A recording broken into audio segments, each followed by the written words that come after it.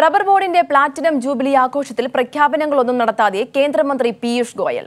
Rubber മേഖലയെ സഹായിക്കാൻ jubilee ആഘോഷത്തിൽ പ്രഖ്യാപനം ഉണ്ടാകുമെന്നായിരുന്നു പ്രതീക്ഷ. എന്നാൽ കർഷകർക്ക് നിരാശ സമ്മാനിച്ചാണ് മന്ത്രി പ്രസംഗം അവസാനിപ്പിച്ചത്.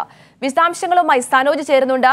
സനോജ് അതായത് കർഷകരുടെ എല്ലാം തന്നെ പ്രതീക്ഷകൾ അകറ്റിക്കൊണ്ടായിരുന്നു മന്ത്രിയുടെ പ്രസംഗം എന്ന് പറയുന്നത്. തീർച്ചയായിട്ടും ആയിരത്തി തൊള്ളായിരത്തി നാൽപ്പത്തി ഏഴിൽ രൂപീകൃതമായ റബ്ബർ ബോർഡിന്റെ പ്ലാറ്റിനം ജൂബിലി ആഘോഷമാണ് ബോർഡ് വളരെ വിപുലമായ രീതിയിൽ സംഘടിപ്പിച്ചിട്ടുള്ളത്. നമുക്കറിയാം കോട്ടയത്താണ് റബ്ബർ ബോർഡിന്റെ ആസ്ഥാനം.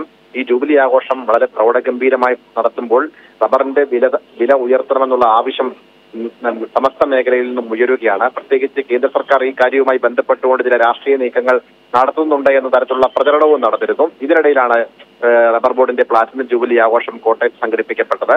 ഈ പരിപാടി ഉദ്ഘാടനം ചെയ്യുമെന്ന് അറിയിച്ചിരുന്നത് പീയൂഷ് ഗോയലാണ്. എന്ന് അല്ല അദ്ദേഹം ഈ പരിപാടിയിൽ പങ്കെടുത്തത് ഓൺലൈനായിട്ടായിരുന്നു. ഈ പരിപാടിയിൽ പങ്കെടുത്തുകൊണ്ട് റബ്ബറിന്റെ വിലസ്ഥിരതാ ഫണ്ട് പ്രഖ്യാപനമോ അല്ലെങ്കിൽ വില ഉയർത്തുന്നതിന് വേണ്ടിയുള്ള കാര്യമായ പ്രഖ്യാപനങ്ങളോ ഉണ്ടാകുമെന്നുള്ള പ്രതീക്ഷയിൽ തന്നെയായിരുന്നു കർഷകർ ആഗമനം ഉണ്ടായിരുന്നത് ഈ പരിപാടിയിൽ പങ്കെടുത്ത കർഷകർ അത്തരം ഒരു പ്രതീക്ഷ പങ്കുവച്ചുകൊണ്ടാണ് പരിപാടിയിൽ പങ്കെടുത്തതും.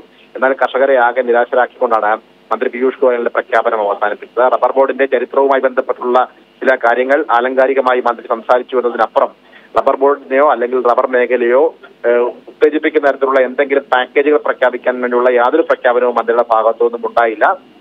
വില ഉയർത്തുന്ന കാര്യത്തിലോ അല്ലെങ്കിൽ ഇറക്കുമതി ചുങ്കം വർദ്ധിപ്പിച്ചുകൊണ്ട് റബ്ബർ കാർഷിക മേഖലയ്ക്ക് ഊർജം നൽകുന്ന പ്രഖ്യാപനങ്ങളോ മന്ത്രിയുടെ ഭാഗത്തുനിന്ന് പ്രതീക്ഷിക്കുന്നു എന്നാൽ അത്തരത്തിലുള്ള യാതൊരു പ്രഖ്യാപനവും ഉണ്ടാവാതെയാണ് മന്ത്രി തന്റെ പ്രസംഗം അവസാനിപ്പിച്ചത്. ശരി സനോജ് സുരേന്ദ്രനാണ് വിശദാംശങ്ങൾ നൽകിയത്.